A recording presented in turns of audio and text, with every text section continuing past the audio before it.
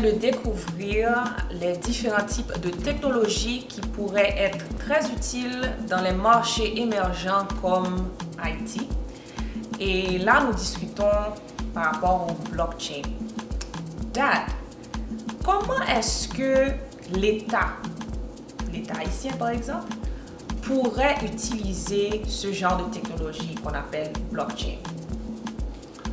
Bon, l'État est probablement le plus grand utilisateur de bases de données car nous avons les, licences par exemple, nous avons les cartes d'identification, nous avons les cartes de vote, nous avons les documents de véhicules, nous avons les cadastres, c'est-à-dire les titres de propriété.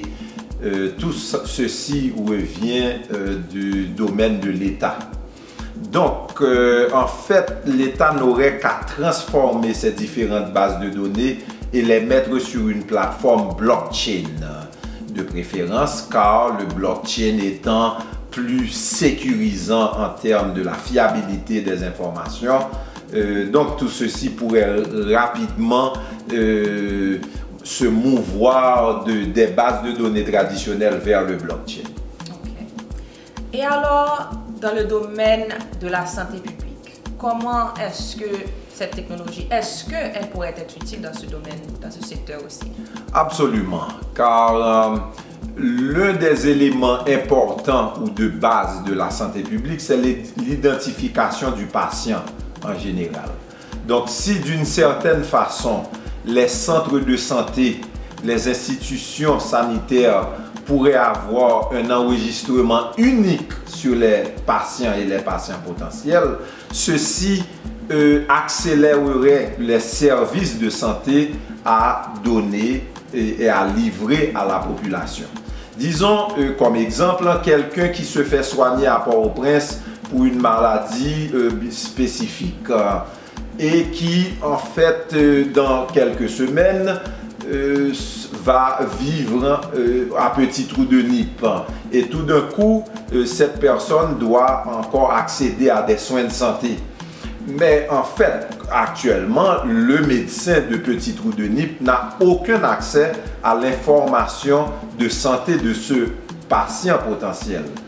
Mais utilisant le blockchain, ce médecin ou celui qui gère ce centre de santé pourrait, à travers son téléphone intelligent, accéder, euh, en fait, de façon autorisée au dossier de ce patient et savoir quels sont les soins qui avaient été déjà octroyés à ce patient et savoir quoi prescrire maintenant pour cette nouvelle situation. Donc, euh, en fait, c'est très important dans le domaine de la santé, car vous ne pouvez pas mélanger certains médicaments euh, ou bien, en fait, la consommation de certains médicaments en même temps. Et il est très important qu'un médecin sache où est les données historiques d'un patient.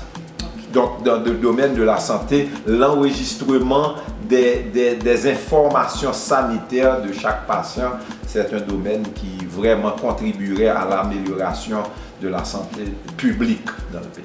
OK. Donc, pour récapituler, dans le domaine de l'État, le blockchain pourrait servir comme vraiment un inventaire de tous les biens de l'État et pour pouvoir faire des transactions, des transactions beaucoup plus transparentes par rapport à les appartenances. Oui. Très bien. Dans le domaine de la santé, ça pourrait faciliter que un citoyen ou une citoyenne puisse euh, avoir toutes ces informations et captées par un médecin dans une ville, accessibles par un autre médecin dans une autre ville, sans que ces médecins se parlent nécessairement. C'est correct. OK. Maintenant, quels sont les autres secteurs là où cette technologie, le blockchain, pourrait être aussi très utile? Parlant toujours du domaine de l'État, et non pas il y a des applications pour le secteur privé.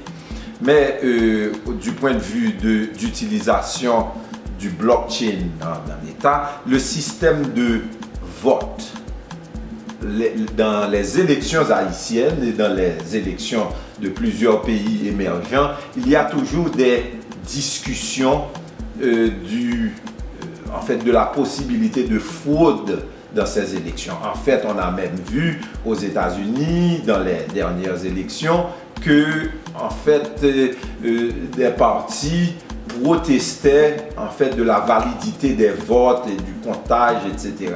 Le blockchain peut être très utile dans ce domaine car les journaux d'enregistrement du vote étant immuables, donc il ne saurait ne pas euh, créer une certaine confiance des résultats qui sortiraient de telles élections. Donc, euh, euh, voting, le système de vote est un est, une application pour le blockchain. Le système des casiers judiciaires aussi. Euh, dans le domaine de la justice, très souvent, il y a des problèmes et des disputes, des discussions entre euh, euh, le système judiciaire, les accusés, les victimes, etc.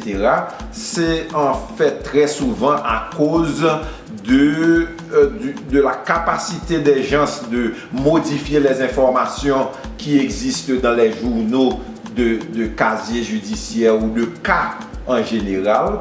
Donc le fait que ces journaux deviendraient immuables rendrait euh, dans une certaine mesure une justice euh, dont la population aurait un peu plus de confiance.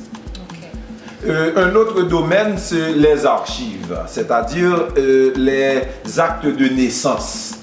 Présentement, il y a beaucoup de problèmes dans les bases de données qui contiennent les actes de naissance, car étant, euh, ces actes étant enregistrés dans des bases de données centrales, centralisées, et où quelqu'un peut en fait modifier les informations qui s'y trouvent. Mais dans un domaine blockchain, euh, tout acte de, naissance enregistré sur le blockchain euh, serait enregistré sur plusieurs ordinateurs instantanément et simultanément, donc empêchant à toute personne de modifier les informations qui s'y trouveraient. Maintenant, si ces informations sont enregistrées sur plusieurs ordinateurs, comment est-ce qu'on peut garantir et est-ce que nos informations restent privées. Par exemple, moi, je n'aimerais pas que mes informations médicales soient accessibles à tout le monde. Donc, comment est-ce qu'on peut comprendre comment ça pourrait être utilisé pour le bien ou pour le mal si ces informations deviennent aussi décentralisées? OK. Alors, les informations ne sont pas euh, décentralisées euh, partout mais décentralisé sur la quantité d'ordinateurs qui se positionnent en validateurs d'informations. C'est ce que font ces différents ordinateurs. Ils valident les informations ou chaque enregistrement qui s'effectue dans le système et dans le réseau. Donc, ce n'est pas n'importe quel ordinateur, ce sont des ordinateurs euh, euh, autorisés et qui, se, qui sont inclus dans le réseau pour valider les informations euh, qui s'inscrivent sur le blockchain. Ok. Donc, en gros, je pourrais dire que si je comprends bien le blockchain, dans le domaine de l'État, ça pourrait vraiment servir comme une base de données des biens de l'État et qui pourrait permettre à l'État de mieux gérer ses biens et de mieux calculer à qui appartient quoi, par exemple. Oui, euh, dans le domaine du cadastre, par exemple, les titres de propriété, en fait, pourraient s'inscrire dans un blockchain, euh, euh, empêchant à ce moment-là que ces titres soient modifiés par n'importe qui et ainsi validant les informations euh, qui ont rapport au titre de propriété. Car il y a beaucoup de discussions qui se font autour, très souvent autour des informations relatives au titre de propriété.